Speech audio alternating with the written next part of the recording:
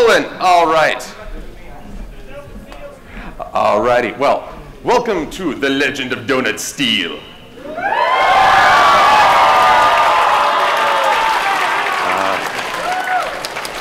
and funny enough, this panel is about OCs, and I have a special OC for you. It is the OC of a madman. Guten Tag, people! So you thought you could get away with another convention without me? Well, we shall see about that! Not so fast, Viva von Heckelstein! Oh no! It's Captain Manlyfists, also known as Anthony C., star of such works as Nightmare Night 2014, that Twilicon cartoon, and that Canterlot Wedding Review with the bunk ending. The very same! And I'm not letting you inflict any more triangle mares on the world, you silly little man. Ha! Not this time, Captain! This time, I've got a machine! What, Jingo? What does it do? Observe!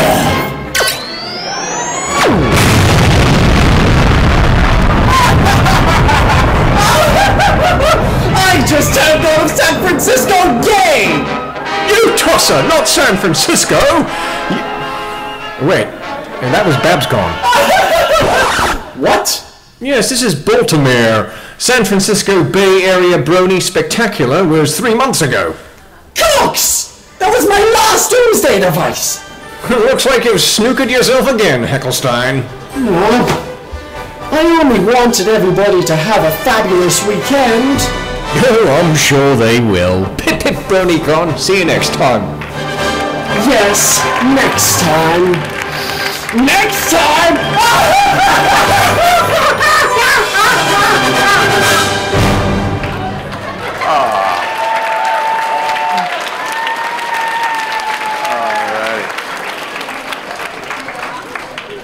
those who might be wondering, joining the marvelously talented Anthony C. is uh, Reverend Imatoon Link.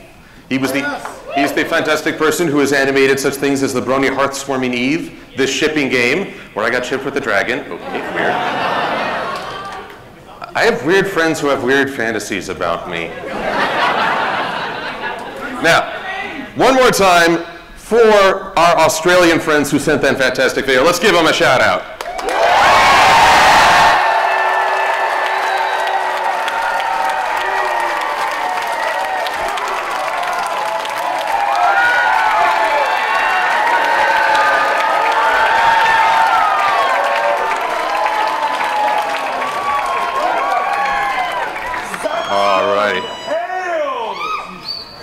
Magnificent people. I see you. But I, well, when you try to see the whole room, it's just like, okay, now I'm scared. Okay.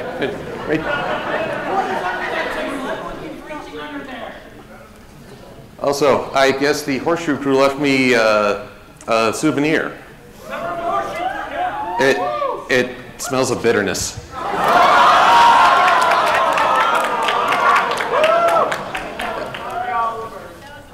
Alrighty, but you, yes, you came here to see Donut Steel, so let's get this party started.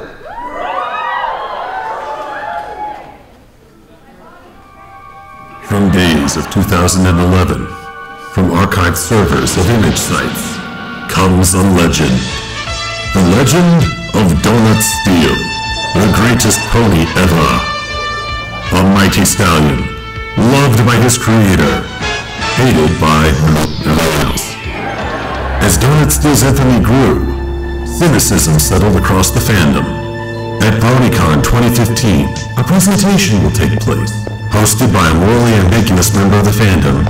It will discuss the elements of characterization and reflecting personality through design. This is the story of the challenges faced when designing an original character. To design with intent and focus, and overcome the stigma of Donut Steel, the greatest pony ever. Donut Steel, he's so friendly and amazing. Yes.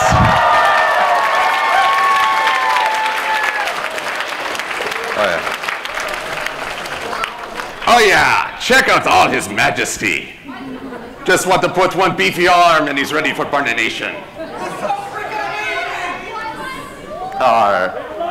All right, well, welcome to The Legend of Donut Steel. I am your humanized hippogriff, Silver Quill, here to host you on this voyage down the insane.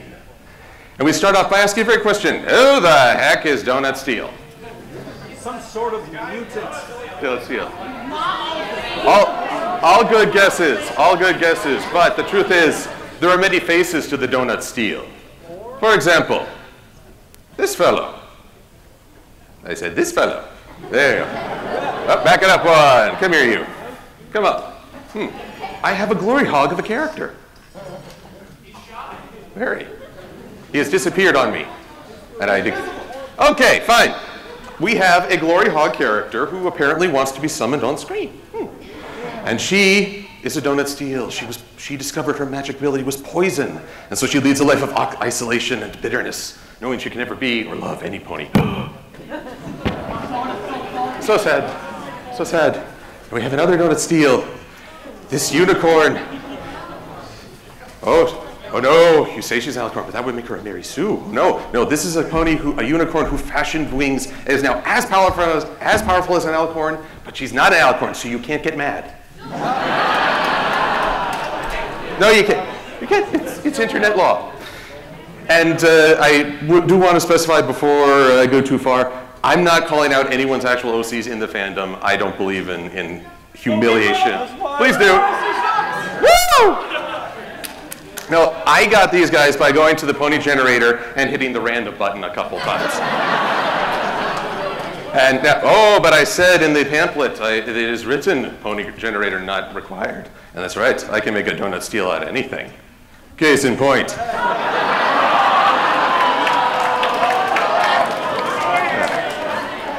Sailor Sun. I have a golden crystal that's just as powerful as the silver crystal, which is held by my sister, Sailor Moon. And we get along great because we have the exact same personality.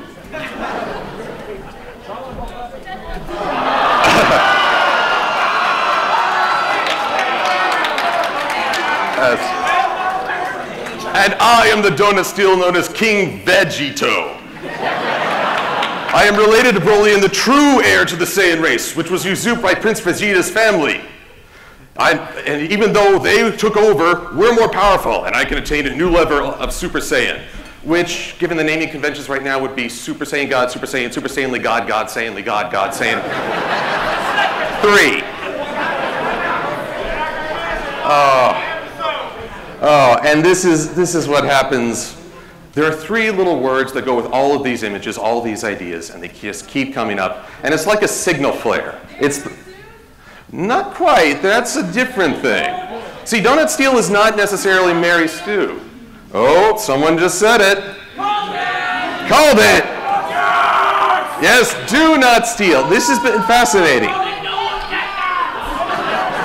Do not steal. So s- people post this online, and you see these words, and I just think, I, I, I don't want it. and yet people put it because they're afraid people will take away their creation. And here's the hard thing when you create something, even if it seems like it's just been done very hastily, someone put a little investment in it, it can hurt when people call Mary Sue Donut Steel. The goal here is not to humiliate. The goal here is not to discourage you folks watching on YouTube or you folks in the audience. But here's the thing do not steal usually goes with something that people feel isn't really ready to be stolen. Ooh, the Tedras? Oh my. No. And do not steal became donut steal. So now we're all on the same page. Believe me, I've blown a few minds in the YouTube world. You can hear the pop. Wow. Is it? Oh, my brain! My leg!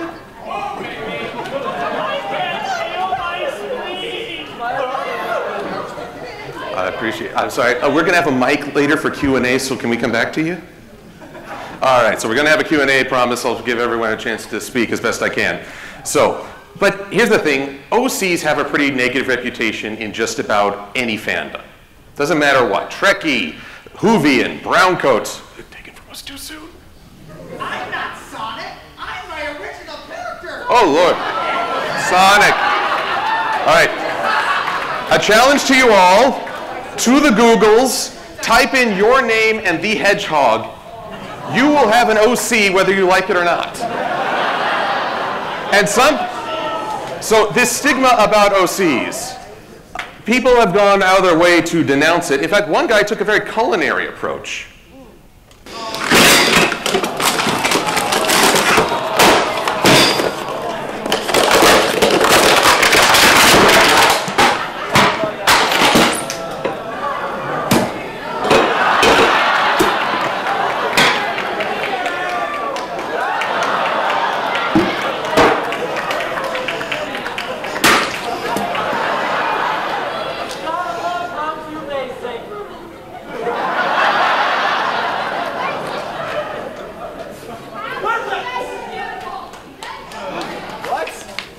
The pasta.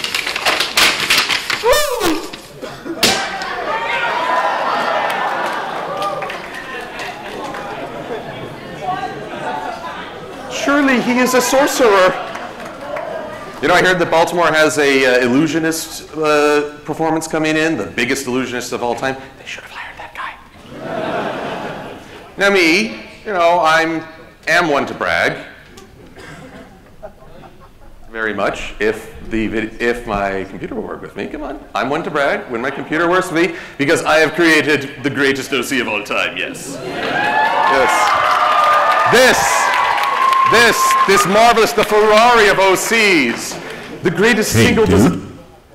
the greatest single design that one could ever mask, and I know that's intimidating. Dude, And I know that you might feel intimidated, but I beg you to stay strong and remain brave because we have much to talk about. Very important things of this Hey, dude. perfection that Hey, you dude. might be Hey, able to dude. reach. Hey, And I'm dude. being Hey, very dude. serious Hey, here dude. right now, Dude, and I dude, appreciate it if we can dude, just focus. Dude, dude, Uh, dude, there's dude, nothing else dude, going dude, on. Hey, dude! What? Aren't you forgetting someone? What? N- no, no, I'm not. Hey, everyone. Would you like to see Silverquill's first attempt at drawing a pony? No! Oh, no, no, no, no, no, no, no, no, no, no, no, no, Well, no! go. Oh, yes. Ah. Drink it all in. The anime hair, the complex cutie mark, the nuclear blue bombardment of your eyeballs, and a body type that appears to be a mutant hot dog. Here's the simple truth in designing, friends. It's a constant process. There's never an end, only improvements. And the goal is not to be the greatest, but to be better than you were. So I hope you all enjoy a wonderful BronyCon. I'll see you online. And always remember, all of the great authors and artists became more than just how they started. Michael Bay Explosions, play me off.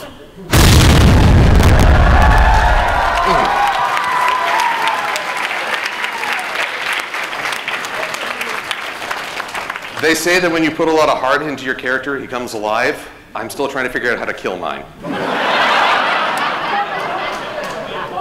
oh, kill it with fire. Ah, yes, but this, this brings back memories. Back when I started in My Little Pony, this was the first drawing I ever did for a pony. I wanted to make an OC. I always want to make an original character when I join a fandom. Somehow it's just the need to make a personal mark.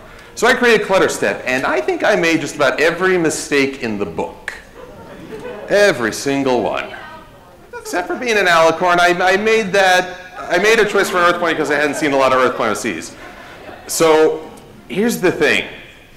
There are a lot of OCs that you look at and you're not really intrigued by them. And I understand individual OCs can turn people off, but I love the ideal behind original characters, just as I enjoy the ideal of fan fiction, fan art. What you start with an OC, with your own drawings, with your own work, is going to last beyond this fandom. Someday the show will end. I know. I know. Oh, hey, hey, hey, hey. Hey. Tranquilo, tranquilo. We gotta make room for Generation 5. or My Little Pony, the next generation. There you go. or maybe some folks will uh, decide to move on. But the thing is, everything that you build as a fan is the perfect time to make mistakes, to test out new things, to feel like you're, you're just enjoying it and you're growing through that enjoyment. Because what you build is going to go forward from there. So even if you change views, maybe if My Little Pony isn't your thing at some point, the artwork, the creativity, that's going to carry over in ways you never imagined. Case in point, I, like I said, I've been a part of several big fandoms, never tried what I'm doing now, enjoying it immensely. We'll see how that goes moving forward.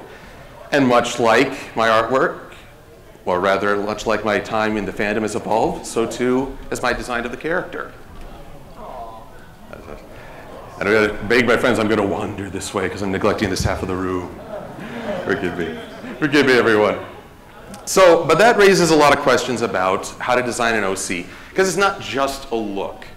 Everything about a character is expressed in their design, in how they behave. Basically, you want people to see that this is something you've put a lot of time and thought into to create a cohesive whole. So before you even begin, when you're just the outline of a pony, see? When you're scaring Rainbow Dash into stupor. Always remember, the first thing to do is to know your character, which sounds easy, but it's not. You might actually take yourself by surprise a few times. But it's important to know your character, how they react, how they think, how they perceive the world, because everything is reflected through design. Your personality is going to shine through with just a look. So I'm going to stress that again because it's kind of important. Design reflects personality. Look at these ponies. Look at them. The eyes. Well, oh, don't worry, we'll get into the eyes. But have we? all, But I'd like you to think back to the very first time you saw these characters. Maybe it was just an internet post. Maybe it was someone doing a news story. For me, Red versus Blue was one of my first introductions. That's right. But look, but just looking at each character, you can get a guess at the uh, archetype. Applejack Stetson. Okay, hey, got a little bit of country right there. Rainbow Dash has this cocky attitude. She's probably really competitive. Looks like the athletic type. Pinkie Pie's bubbly mane. Oh, she looks like she's fun. Curvy, elegant mane of rarity. Oh, I thought when I first saw her, oh, I'm probably not going to like her. She seems like a prima donna. I was wrong. Well, I, I, I will say she's, she is maybe a little bit of prima donna, but oh, I adore her. And Fluttershy with those droopy eyes. She looked really gentle. The only pony I really couldn't place personality was Twilight, who seems to be sort of neutral. And that she's the main of the main six. I had plenty of time to get to know her. Oh, and Spike's there too. even, even in my panels, the pork boy gets no love.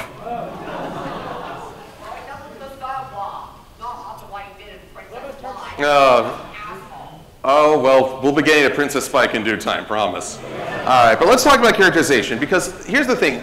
With pretty much any OC I've witnessed online, strong, needing development, one thing a lot of people have down right away is their biography. But then they stop there. Biography is something that are things that have happened to your character, and it's important.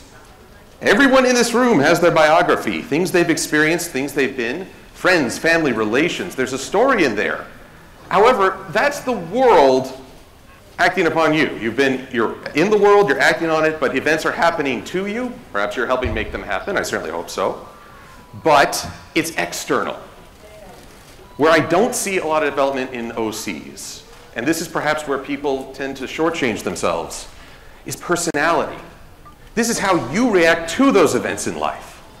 Do you get mad? Do you accept it? Do you take defense behind humor?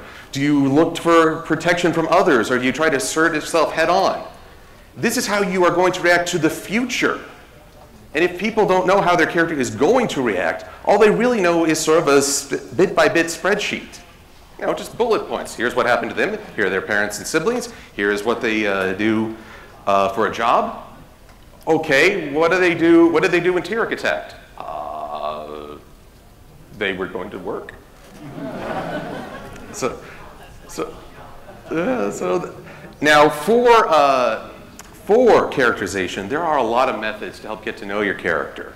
In fact, there's an entire book on it. Getting into character, seven, seven secrets a novelist can learn from actors. Because uh, believe it or not, method actors and, art, and writers, artists share a lot in common. There are a multitude of techniques for getting to know a character and really getting inside their head so that they stop just being words on a page. And I'm going to spoil at least one of those techniques, but I'd recommend you all check out the book. But first, I'm going to talk about one of the most important elements. This is where the Mary Stu, Gary Stu stigma can come in, when there aren't enough flaws. And people say, oh, well, you know, my character, he's just so brave and awesome, only the villain can really turn that to their advantage. well, then you've just said your character's so awesome that you'd have to be an awful person to not get along with them. How many of us can really say that about any individual? Believe me, guys, my, my idols were in the 80s. I'm going through a very difficult period right now. Oh. Oh, dear. No, in my eyes, when you take a character's greatest strength, their courage, their kindness, their knowledge, their energy, if you dial it up to 11, if you take it beyond the norm, it becomes their vice. Your character is brave, then he's reckless. If your character reaches out to people very easily, then he might not respect privacy. If your character is assertive and just knows how to stand up for themselves, might not know when to back off or when a little peaceful word might help. These are flaws that we all experience day to day, and these are flaws that can undermine our relationships with others, just like flooring. But one of the surest ways to get to know a character is to conduct an interview. This is one of probably my favorite technique from that book. All right. And, and just like that, the blood sugar in the room spiked. All right. So this is a good place. This is where your biography does come into the character's development. So you sit your, imagine sitting your character down in a chair. That has a very curious mark. I'm not touching that. Uh, basically, you just start with the biography and you just inquire about it. Ask. In fact, you can reduce this technique to one thing, one word. Say with me now, Animaniacs, Buttons, uh, Buttons and Mindy. Why? Uh, oh, come on. I know there are Animaniacs fans in this crowd. Good. Good. Good. Okay. Okay. Right. Exactly. All right. So uh, I'm going to save Q&A for a little bit. I'm also going to wait for my screen to stop flickering. So I promise Q&A will come at the end. But I just want to talk about, let's say we have a character who wants to be a great adventurer. And okay, yes, and well, why do you want to be a great adventurer? Because they do things of renown. Well, why do you want to? Why do you want to be renowned? Because then ponies will will see me and know who I am. Why is that important? Because it makes me feel good. Well, why does that make you? Why does it make you feel good? Because I know someone's thinking about me. Well, why is that important? Because I'm afraid of being alone. Why are you afraid of being alone? Because then I know that I haven't made a mark on the world. I came and I went and nothing mattered. That, and suddenly you think, oh wow, whoa, you just hit an emotional nerve. This guy, he's driven to do great and noble things, but it's all driven by insecurity. There's this, there's this splinter under the skin of this armor. I'm not going to say shining armor, that's a different one. This is the weakness that's driving him. He's so driven by his own ego. That's going to undermine him throughout any adventure, any challenge, any trial. He's got to remove that splinter. He's got to face the fact that he's afraid of being forgotten. And perhaps to become a real hero, he's got to learn it's not about him. Save the world and no one notices. Hey, there's an interesting story. So just by asking why, why, why, suddenly you have a little bit better understanding of the character and the thing that can drive them and undermine them. Uh, the panel in question was the legend. So it may, sometimes you, now some people, they need to draw the character first just to get an image and start this process. But then please be ready for revision. You're going to do it again and again because it's always a process. So once you have an idea about your character, obviously I've, I've gone through this at light speed because this can be a long process. And don't be afraid if you're taking a while. Quality takes time after the fact. Ah, ah, ah. yes, shameless. I am. I am. All right. But then there's also character interactions because let's face it, eh, we don't always get along. Now, a lot, another stigma about OCs is that they are best friends with all the main six. Now, I am not against the idea of writing a story where your character gets to meet our heroines. In fact, that seems like a really good idea. You're basing your character off several really established characters. But personalities attract or repel one another. Maybe we're drawn to people who are, uh, you know, friendly and outgoing, or maybe we really admire people who just don't care what you think. They got attitude.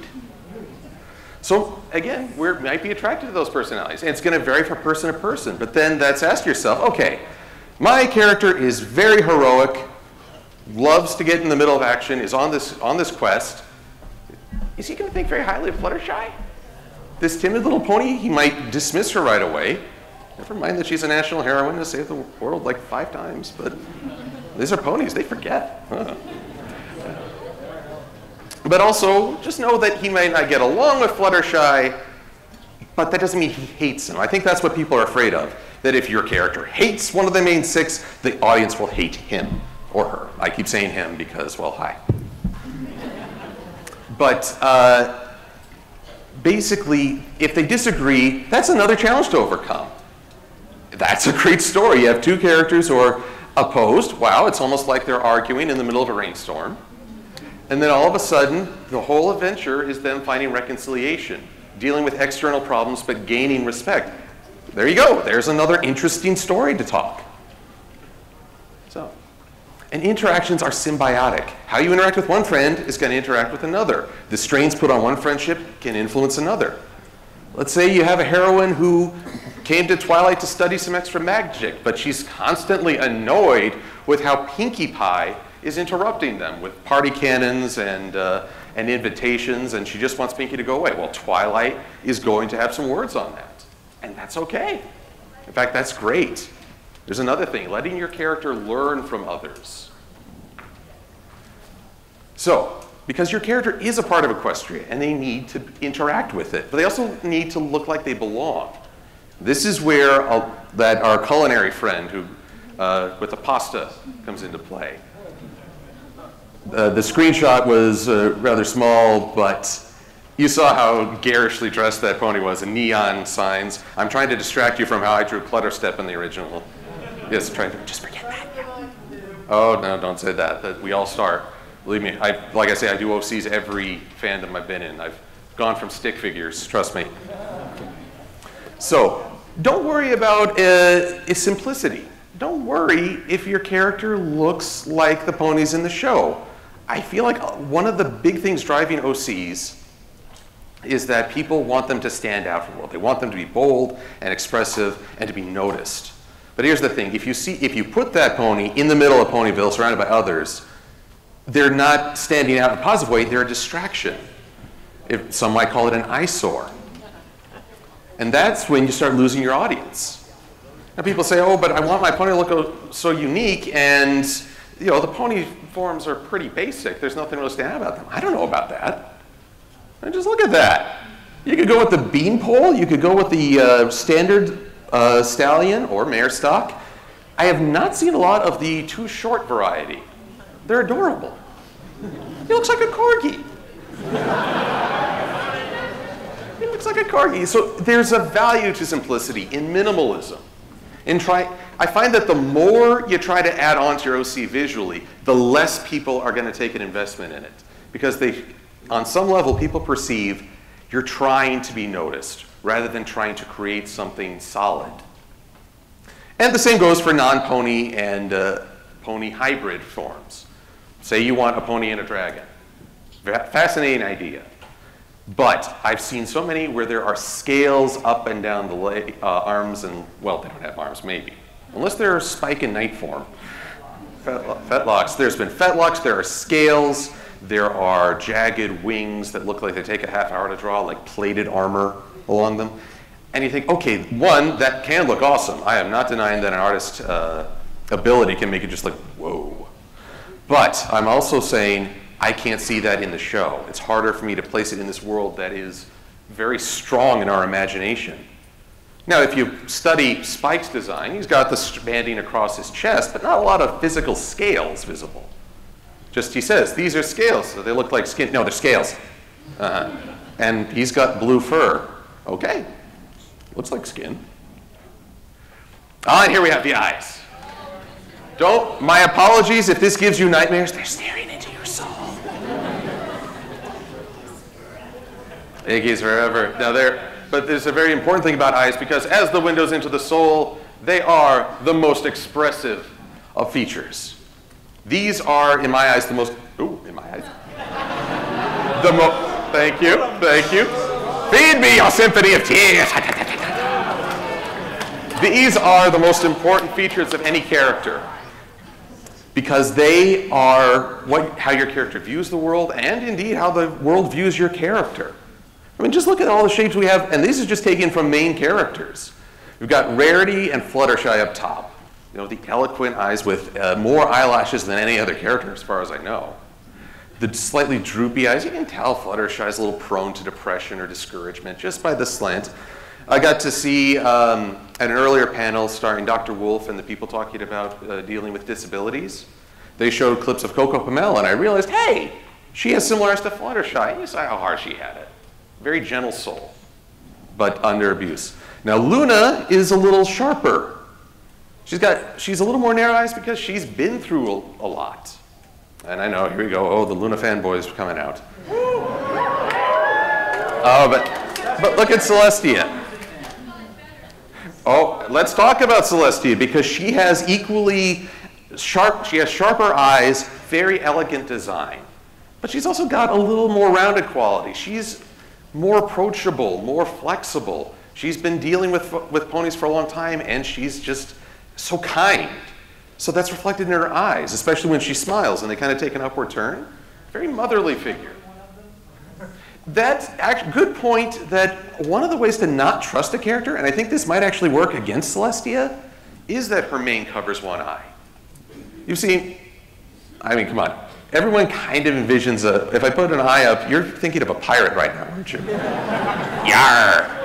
I don't, it's hard to understand why, but the physical covering, either with hair or a, an article of clothing of some kind, people can assume that somehow that's untrustworthy.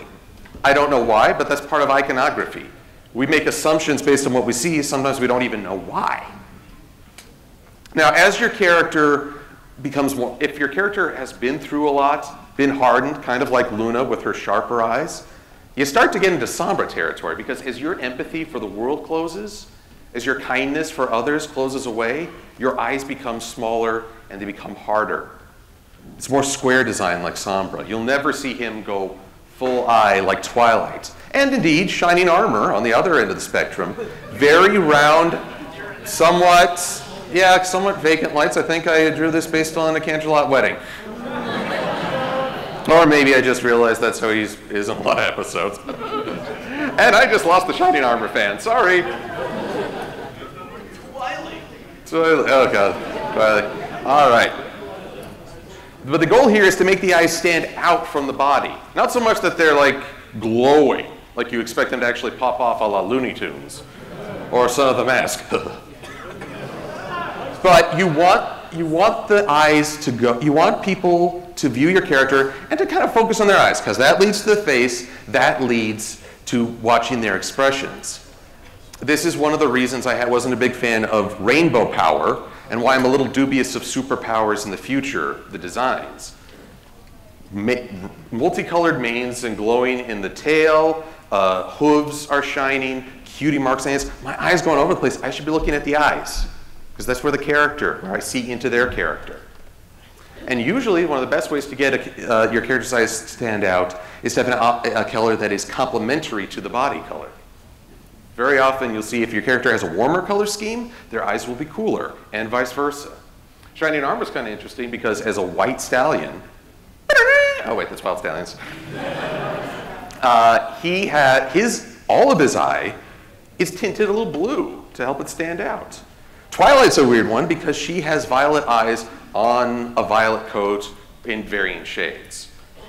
This is a very weird thing. I know some people want to say, oh, it's purple or orchid.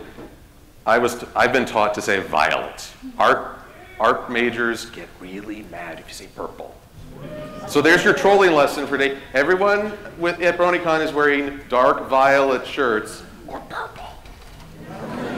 And they're doing a marvelous job. Thank you, guys. So, uh, let's see here. So, colors are, oh my God, he's gone to plaid.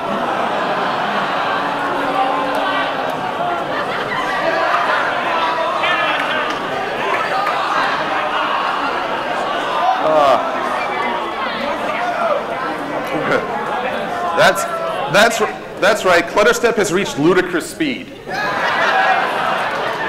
Oh. This, this is my single greatest crime in designing an OC.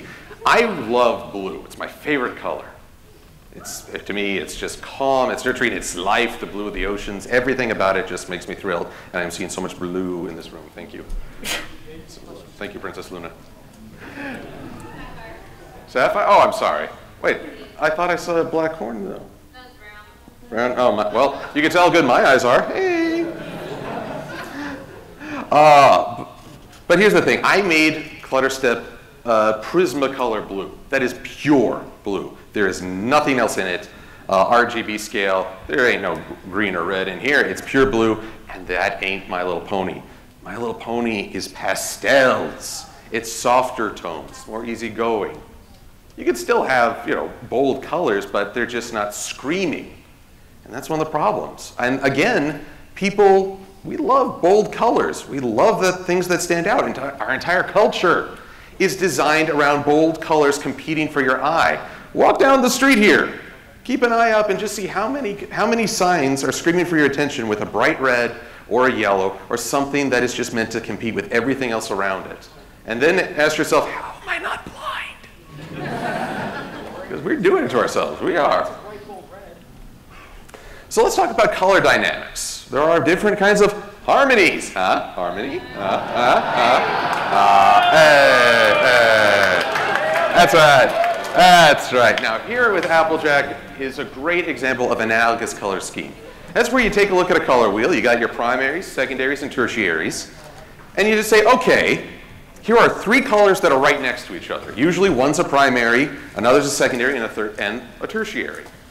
Now, one's going to be more dominant than the others. Applejack, in this case, has, I've called her orange in the past, but she really is more of a yellow, has a little bit of a yellow tint to that orange, softer. The outlines of her body are darker orange, pure orange. And then she has a blonde mane. So that's an analogous scheme. But they also very subtly add red of a cutie mark in the hair bands and green complements, especially her eyes, which again stand out more against the other tones. Green is a cooler color. It's going to stand out when surrounded by warm colors. Now, what about a triad? Just draw a triangle on the color wheel and you might end up with Fluttershy's color scheme, predominantly yellow. It's not pink, it's lightish red.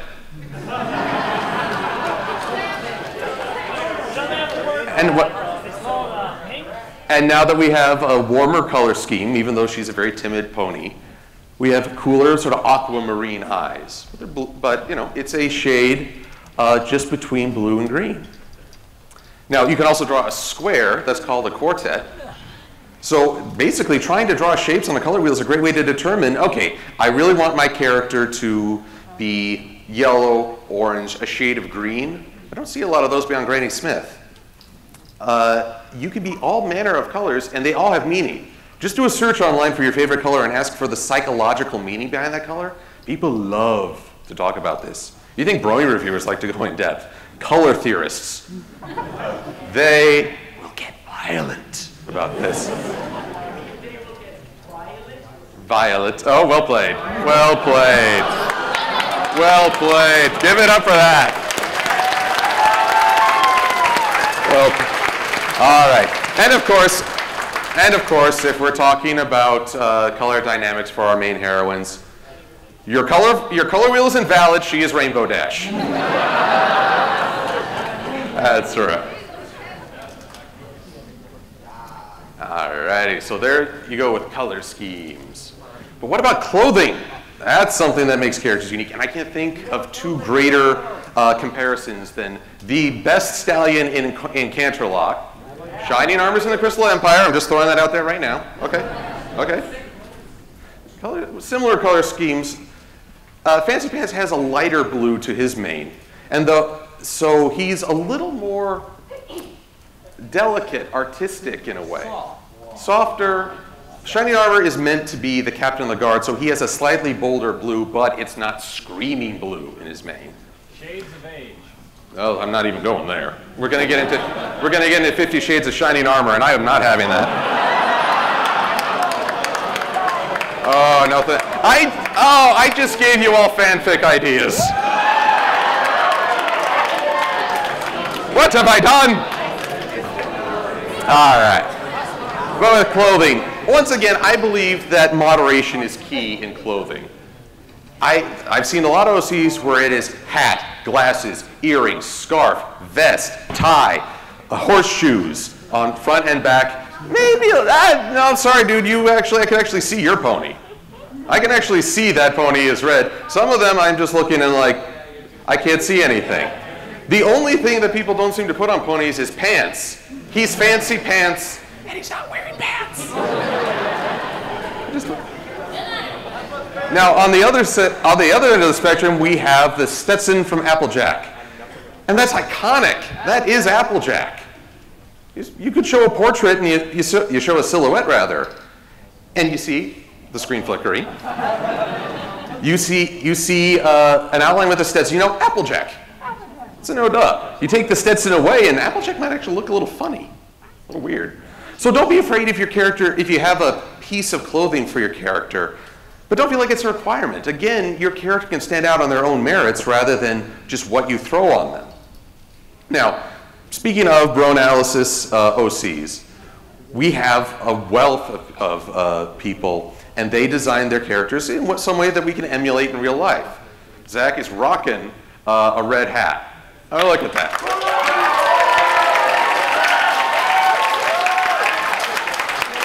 Uh, Doc, Dr. Wolf, best best dressed reviewer here. He, I believe, he had to, to run out, so I'm afraid he's not here right now. But Dr. Wolf, you'll see him at the con. He's like, dude, you styling. And I am a failure. but, but, but basically, one of the one of the traits a lot of reviewers like to do is to have an article of clothing that they can wear in real life to help identify with their character. Hey, that's great. Make it an icon. Make that hat symbolic. So that's an, always an option. But also remember that the more clothing you throw on your your pony, more they wear, more ceremonial. Think about all the times our heroines have worn full clothing from neck to flank. Grand Galloping Gala twice. The wedding, wedding was weird. And the coronation. The dress and the coronations. We've all got our views on. And the, sil- the silver bolt? Wonder bolts? Oh, the shadow bolts. Right. And then again, remember the Wonder Bolts are supposed to be some kind of military organization, maybe. I hope folks got to see Fob Equestria's panel. But, yeah. Oh, yeah. But basically, the Wonderbolts serve a function. The Royal Guard serves a function. There's a certain ceremony to that. They wear full uniforms. The more your character wears, like fancy pants, the more they, again, not wearing pants, uh, the more of a conservative lifestyle, in essence, they lead.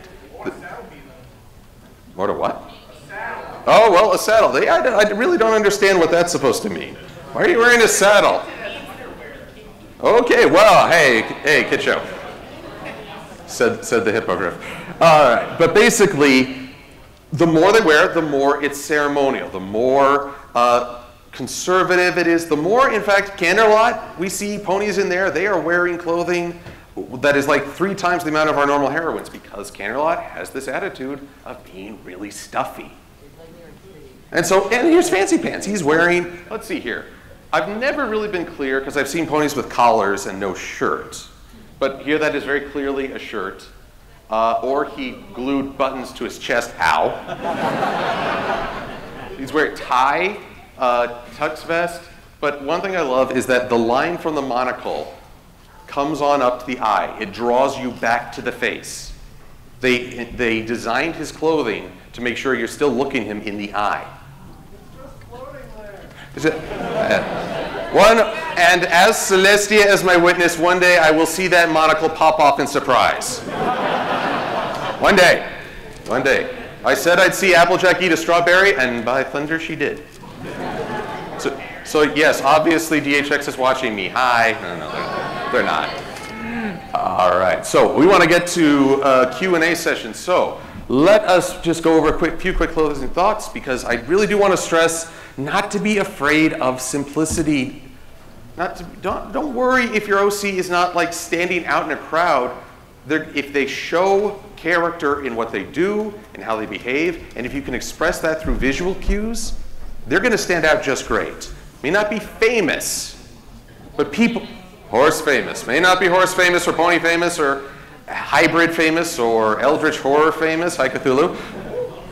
Uh, but fans will respond to effort. You guys saw Clutter Step when I first started. You saw Clutter Step when I uh, made improvements. Hopefully that effort shows through and people respect that. You may not become horse famous, but is that the reason you're making an OC? I would hope not, because I'll tell you, that won't sustain anyone. No, it's funny enough, even when we are eager for recognition, that won't sustain us. We gotta love what we do.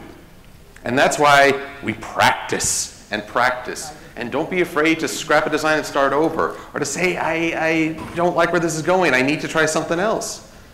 This is the time to do it. No one can fire you from a fandom. You can't. Well, no, he, he's not fired. That's the simple truth. He, if they want to leave, that's their decision. Ain't none of me. It's on them. It's like, guys, you, we could forgive if you want, but that's, a, that's all there is. That's on them now. But you can put forth effort and time, and the worst you have to, the worst that can happen is someone hits a downvote button. Oh no. So again, practice, enjoy what you do, understand that it's a process. And even then, even the people who think they can discourage you into silence really are powerless.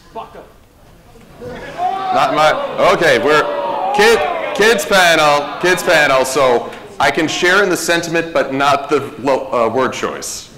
All right, so it is time now. Let us see what other folks have to say, because let's do a little Q&A. And if I could ask, could we bring the mic over to this fellow who had a question? Uh, he, he's in a wheelchair, so can we, can we just bring it over real quick?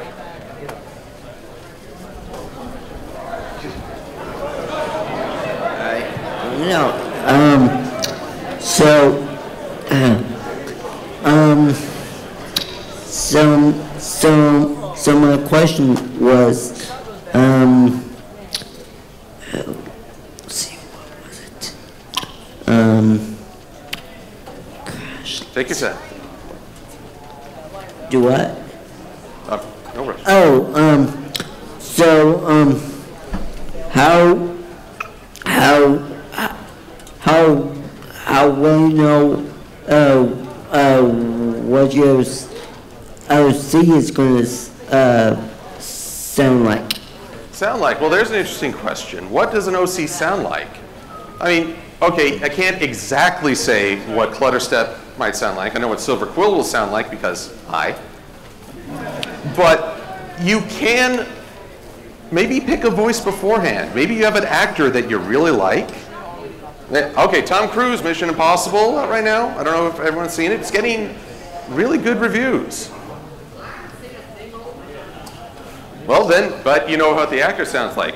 Maybe you want a character who sounds like Morgan Freeman. If you take a look at Morgan Freeman, eh, eh, oh, but but if you like a big baritone voice, maybe you want a big pony with large proportions, kind of big McIntosh. Yep.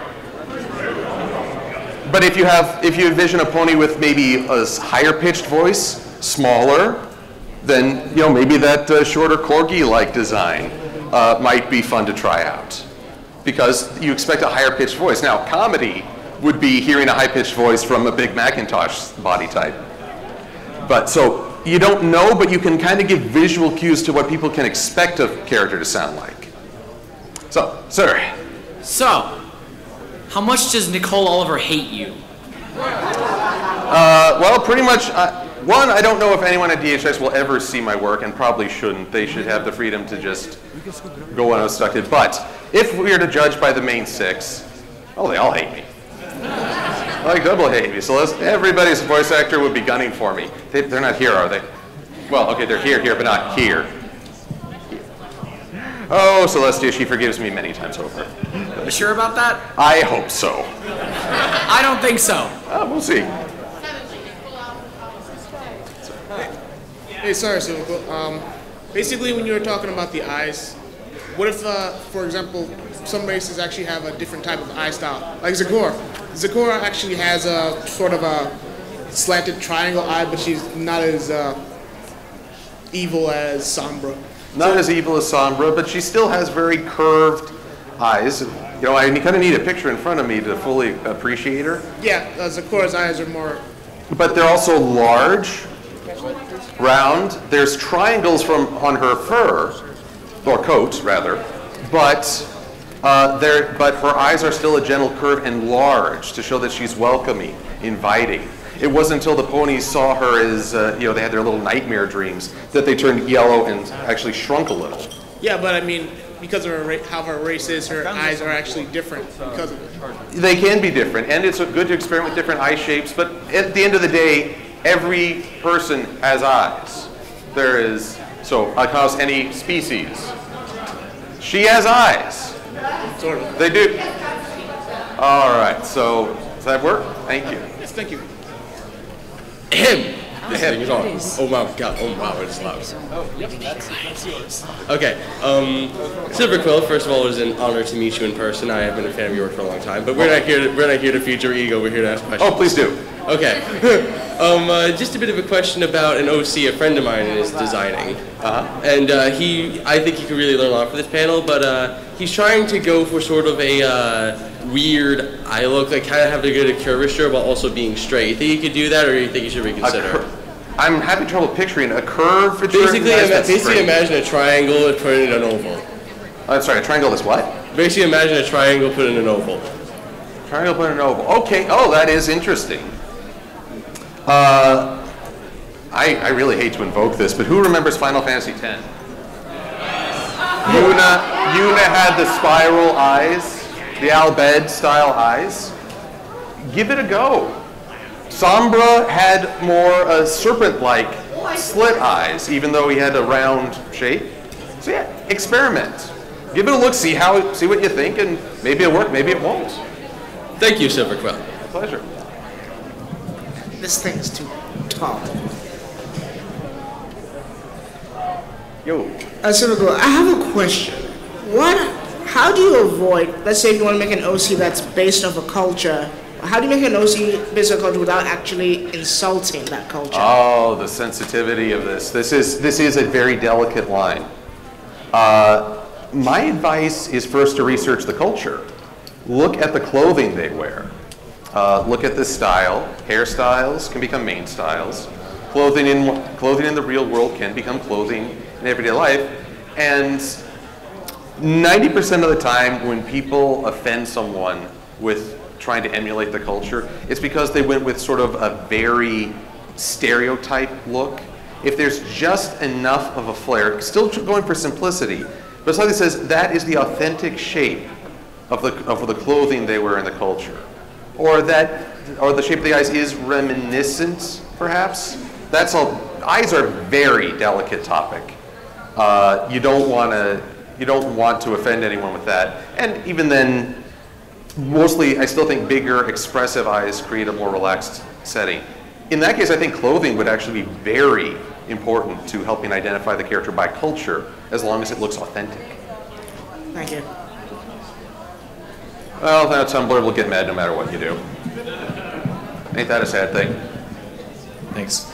Um, hi, um, first, yeah, big fan of your videos and stuff, and I want to ask involving, like, non-pony OCs, like I, from time to time, use uh, Draconequus as my OC. Oh, nice. Do you think that there's kind of an over, like a not simplicity type thing with that? Well, is it though? Uh, Discord has a lot of parts to him. Uh, okay, the Chief Draconequus example. He's got a lot of parts to him, but have you noticed that each part is basically one solid color with an outline? Huh, yeah. So even though there's multiple parts, and some of them have, you know, a little bit of a arch, little connected archways to show the end of fur or a coat. I keep getting terminology mixed up. Uh, they're still very simple in design, with maybe just a few spots to show this is a scaled bit. So again, just enough. Oh, there's a great quote by Stephen King. One of the first rejection letters he ever got out of 75 before he ever sold one story. 75 rejections. And the person gave this great advice. Your final draft is your, is your last version minus 10%. And I think that applies also to art design. Your, your final design is what you just had and shave off 10%. And if you think you can lose a little more, shave that off. And that's how it works. And that's how you scale back. Thank you, five. Thank you. Sure thing. Breathe, man, breathe.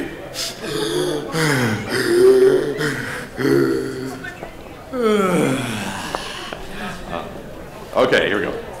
Okay, so I got a couple questions. We've got a long line, so can I trouble you for one and we can talk out in the hall, in the lobby?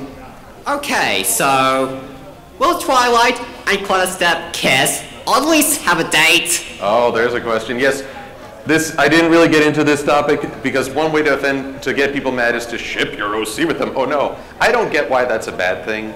I like the, I like envisioning how our heroines would react to stories to finding deeper relationships. Yeah, And I'm sorry, the current crop doesn't impress me.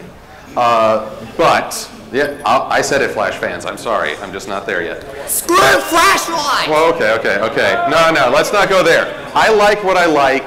Twi- Flashlight fans enjoy it, and I hope they do. I hope they continue to. I'm more. I, I feel it's more enjoy what you enjoyed. There's no need to put someone else's enjoyment down. Because that's the only way to live life in my eyes. But so, we'll see. I gotta get. I've got to finish Clutterstep's current story and get him back to Equestria. And there'll be more to follow, but uh, we need to move on. Thank you. Um, my question is about names, which the show itself seems to have a problem with, where we get Sunset Shimmer, Twilight Glimmer. yes. But yeah, I'm worried about season six's villain. um, a lot of people's names can be the easiest. Sometimes it can be the hardest. Um, what is your kind of advice for finding a name that doesn't just sound like a remake of Rainbow Dash or something, but Oh, also yes, that's- that can be- sounds reasonable in the world? That can be hard, very difficult. I mean, you know, I, I still get a laugh out of the namby-pamby joke from uh, Ponyville Confidential. Basically, start with what your character's all about. Uh, sort of the core. Once you know the core of their character, Clutterstep is meant to be clumsy. So I thought, well, okay, clum, Bumble Step or Clutter Trip doesn't really work. But I thought, but the image came of a room very messy. So I just started going through words. All right, junk, mess, uh, silly, strewn. Don't trip on the clutter. Ooh, clutter. So work with that. Okay, and he trips a lot. Well, you trip while you're walking. Kind of play word games with yourself. Just stuff. Don't look for an answer. Just sort of let it stream out by word association. Or have a thesaurus on hand, and you might find something that mixes together. Like, whoa, that sounds pretty awesome. Does that help? Yeah, thank you. Oh, good. I want to make sure I'm not cutting down. I've got like two two more minutes, so let's try two more questions. I'm Okay. sorry. Oh, but guys, I'm going to relocate to the to the hallway here in the corner. I was told very. I want to thank the staff again for saying over here because the bathroom's over here. I don't want to camp out there. Going over here. So I'll be in the hallway. We can ask more questions. But next two gentlemen. Speaking of color, what about the black OCs? Oh, black. Black is a unique property. Not alicorn black OCs, but Oh, no. just typical. black Actually, we've seen we've seen black Yes. uh, colors and OCs in the show. The Bumblebee pony from Wonderbolts Academy. Exactly right. And you knew, hey, that must be someone's OC because very typically there aren't many dark color schemes. Uh, there's a Pegasus, blue spiked mane. He has l- he has a lighter, well, dark gray Thunderlane. really. Oh, thun- oh, not not Thunderlane. This is a different character. He's got a little bit of a blue tint to him. Star Chaser, thank you. He is as close to black as I've really seen, other than Nightmare Moon. Black has a characteristic that it pushes any other color out. It's instantly standout. And that's why black and people always joke about black and red, but it's really black in any OC is going to look like it's trying to stand out because the black is too deep. If you lighten it up to a very dark gray, then it looks a little more pastel and a little more natural fitting with the show. That's one of, that's the one, the yellow and black OC. Yes, sir. All right, what's up, Silver? Uh, so, let's say you're making an OC, and it turns out that this OC isn't something that you would expect to be within the MLP universe. Let's just say it's it turns out to be a gnome. So, but you're making it with the goal of introducing it into the universe in mind. Because of this, uh, along with the fact of art design, you know, you, you're making a uh, Okay, a complete new vector. Would you say it takes more effort to get this OC to a good quality when compared to doing the same the Pony OC? I think OCs really do reflect the effort you put into them. Keeping close to the show doesn't necessarily mean it's easier, but you are going to have to experiment a lot more with shape and ask yourself, does this really look like, could I see this happening in the show? The yaks are a great example. We never saw anything like that. But with time, effort, and focus, you can blend it to the world. And guys, I'm sorry, but I am very much impeding on time for the next folks. So thank you all for coming. I'll see you out in the hallway. I, I'll be out there, I promise. Hello.